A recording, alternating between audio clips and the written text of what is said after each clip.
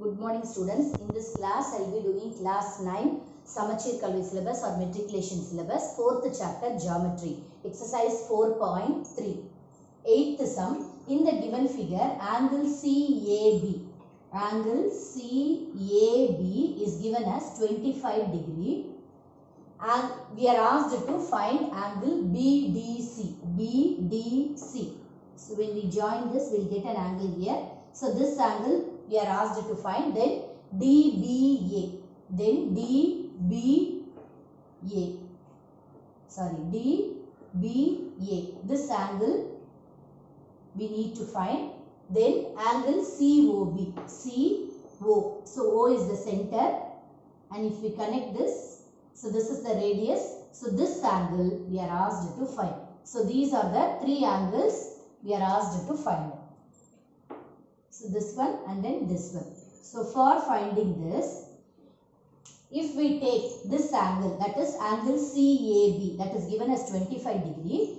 So if we take that if we join this CB we will get this this angle that is CAB and CDB in the same segment. So we know that angles in the same segment are of equal measure. So angle CAB is equal to angle CDB that is angles in the same segment. Angles in the same segment.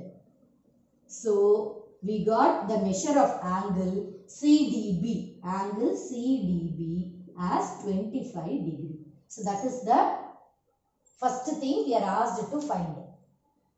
BDC or CDB CDB or BDC that is the first angle we are asked to find. So, we will rewrite that whatever is given in the question that is BDC. BDC. So, that is 25 degree we got. Then next one is DBA. So, if we take this D, B and A, DBA if we take this angle we are asked to find. So, here for finding this DBA that DBA and DCA will be the angles in the same segment.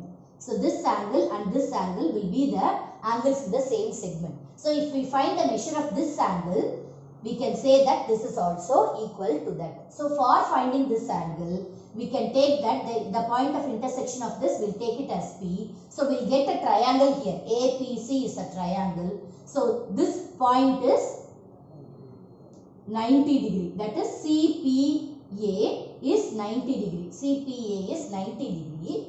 So, this is 90 degree, this is 25. If we use angle sum property of a triangle, we can find the measure of that angle ACP. Okay, so that is the, so this is first one. Then the second one is in triangle APC, angle A plus angle P plus angle C is equal to 180 degree. So angle A is given in the question as 25 degree and angle P is that is 90 degree plus angle C we will find the measure. So 90 plus uh, 25 is 115 plus angle C is 180. So angle C is equal to 180 minus 115. So 180 minus 115 is 65.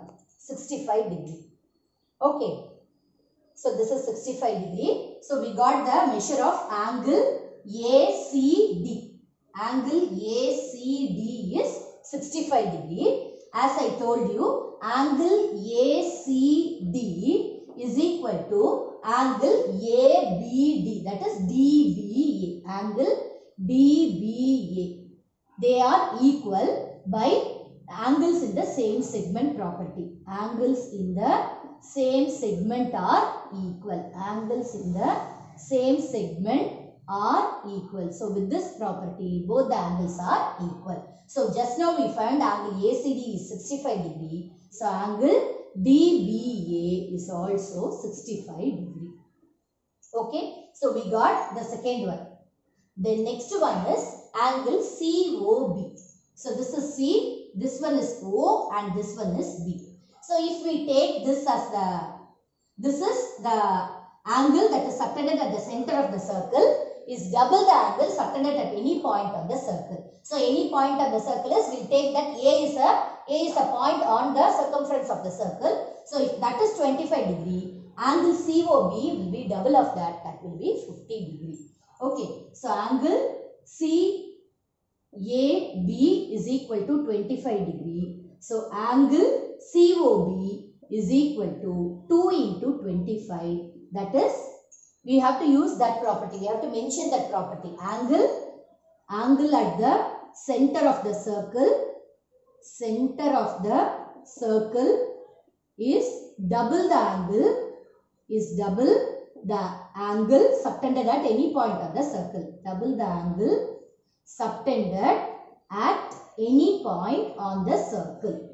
Any point on the circle. So with that property, we can say that angle COB has 50 degree. So all these things we are using circle properties. Okay. Thank you.